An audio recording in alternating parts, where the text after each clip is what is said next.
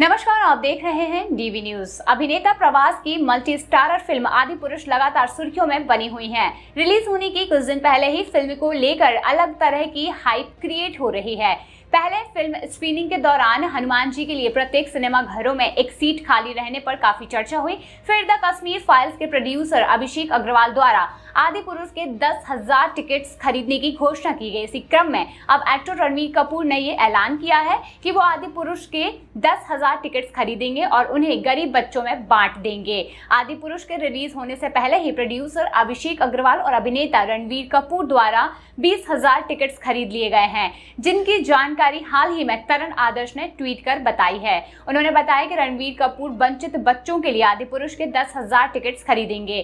जिनके पास फ़िल्म देखने के लिए पैसे नहीं है, वह उन बच्चों को फ्री में यह फ़िल्म दिखाएँगे। रिलीज़ से पहले ही फ़िल्म को लेकर काफ़ी बस बना हुआ है। अभी इसकी एडवांस बुकिंग भी शुरू नहीं हुई है, लेकिन बीस हज़ार टिकट खरीदने का ऐलान पहले ही हो चुका है।